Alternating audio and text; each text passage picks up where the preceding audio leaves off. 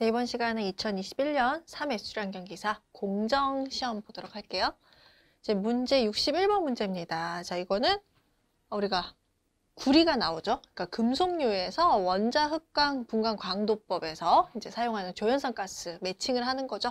그래서 이거 해설에 나온 대로 여러분이 어, 각 가스별로 적용 금속을 기억을 해주시면 돼요. 지금 구리가 나왔으니까 네, 공기 아세틸렌이죠. 그래서 정답은 4번이고요. 자, 문제 62번도 마찬가지예요. 여러분 이거 암기 문제죠. 우리 공정이나 법규는 대부분 암기 문제이기 때문에 여러분이 차라리 해설을 보시는 게 훨씬 더 이제 시간을 아끼는 게 많습니다. 그래서 제가 어, 중요하다고 하는 거는 표를 가지고 정리를 하고 나머지 부분 단만 체크하고 한번 가도록 할게요. 자, 지금 아질산성 질소예요. 자외선가이성 분간법 같은 경우는 여러분 물질별로 그 측정하는 나노미터 그죠? 그거 아는 거 흑강도 파장 중요하죠. 자, 아질산성 질소니까 뭔가요? 네, 540입니다. 그래서 1번이 정답이 돼요. 자, 우리 그래서 아질산성 질소, 그다음 질산성 질소, 그 다음에 또 암모니아성 질소. 요세 가지는 조금 구분을 하시면 좋을 것 같아요. 그죠? 그래서 우리가 자, 우리 뭘로 보면은 흑강도 파장으로 보면은 순서가 이렇게 되죠. 그죠? 그래서 아지산성 질소가 얼마고? 540. 그 다음에 어, 우리 질산성 질소가 얼마예요? 410. 그 다음에 암모니아성 질소가 네, 630 이렇게 되죠. 그죠? 그래서 요거 흑강도 파장 정리를 해 주시고요. 그 다음에 특히나 우리 암모니아 같은 경우에는 자외선 가이성 분광법 이름을 뭐라고 하나요? 네, 인도페놀법이라고 하고 그 다음에 우리 NO3 마이너스 같은 경우에는 부루신법이라고 하죠. 그래서 이름까지 같이 매칭을 해주세요. 정답은 1번입니다.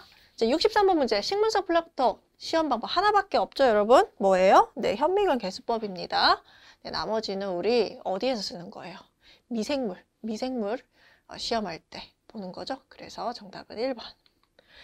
자, 64번 문제 계산 문제예요. 어떤 문제인가요? 직각삼각외어 유량 계산하는 거죠. 자, 공식부터 정리할게요. 직각삼각 weir는 얼마예요? K의 H, 네, 얼마? 2분의 5승이에요.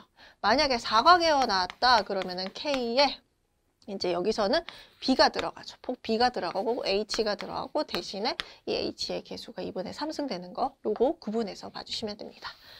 직각삼각형은 폭이 없기 때문에 2분의 5승을 쓰는 이 공식을 씁니다. 자, 그럼 이 K부터 먼저 구하셔야 되겠죠. 그래서 81.2 더하기 이 H가 뭐예요? H가 나오고 D가 나오고 B가 나오고 요거부터 여러분 구분을 해주셔야 되겠죠.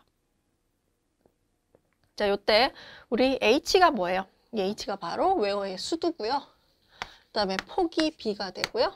그 다음에 우리 여기 수로 밑면에서 절단 하부점까지의 높이 요게 뭐가 되나요? 바로 D가 됩니다. 요것만 구분을 해주시면 돼요. 자, 지금 이렇게 친절하게 유량계수 K가 공식이 나올 수도 있고 안 나올 수도 있기 때문에 여러분 요 유량계수 K 공식도 같이 정리를 해주셔야 됩니다. 자, H 0.25입니다. 분의 0.24 더하기 8.4 더하기 D 값이 0.7이죠.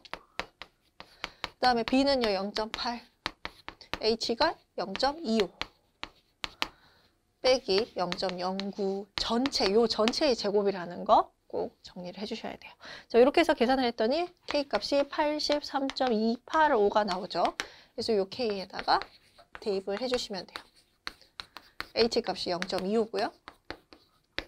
계산을 하시면은 2.60 나오죠. 단위는요, 네, cubic meter per minute로 나옵니다. 그래서 혹시라도 cubic meter per minute가 아니라면 여러분들 단위 환산이 한번 더 들어가야 돼요.